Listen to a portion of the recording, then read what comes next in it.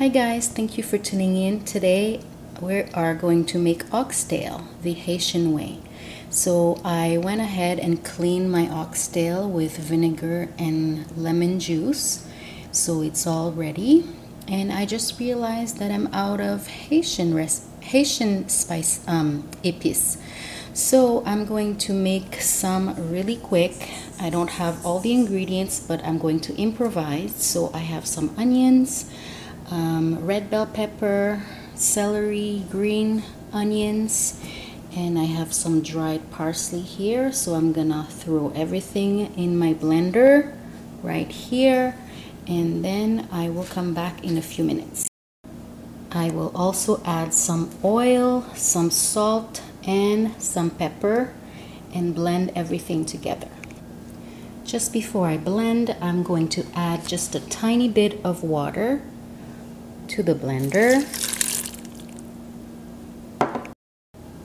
So after um, I finish blending my épices, I'm going to add at least four tablespoons of épices and I'm going to mix everything together like that.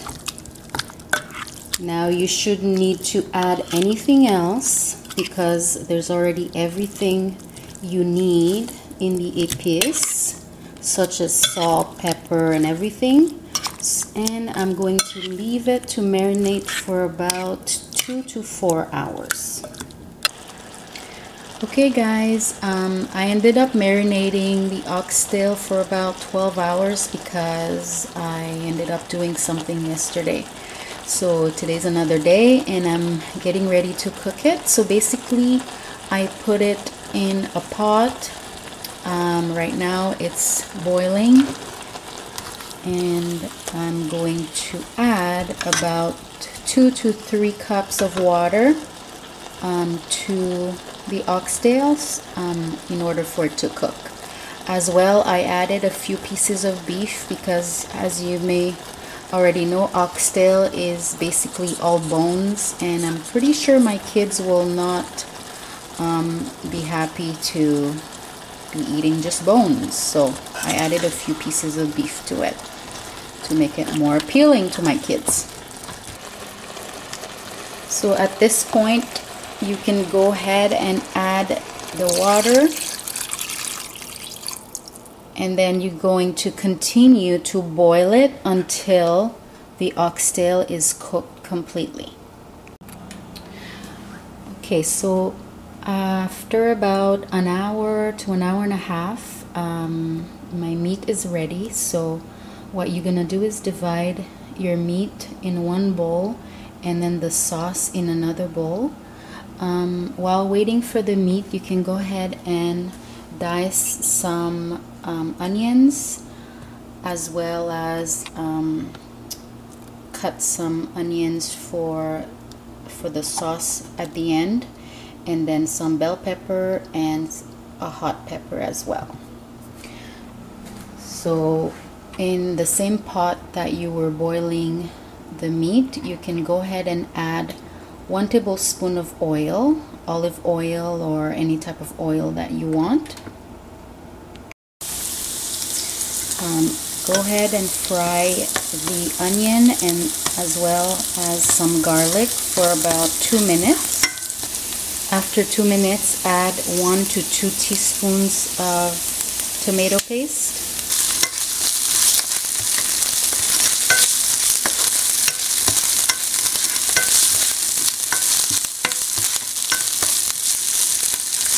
And then you return the meat to the pot.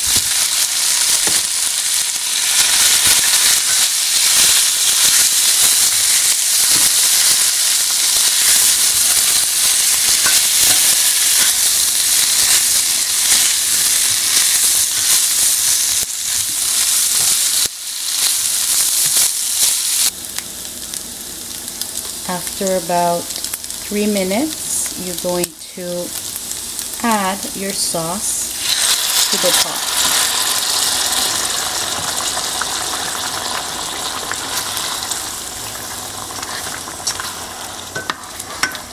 You're going to bring it to a boil.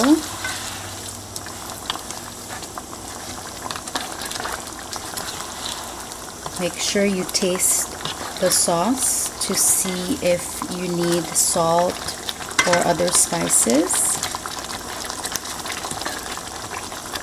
and at the same time I will add my um, hot pepper but just before I'm going to poke a few holes in it before I put it in the sauce.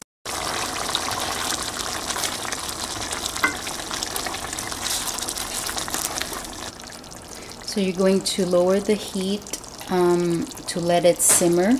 And the last thing you're going to do is to add the rest of the onions and the, the bell peppers.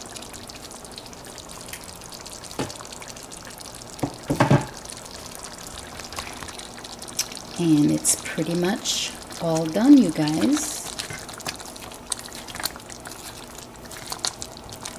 So I hope you guys enjoyed this recipe please give it a thumbs up and I will see you in the next video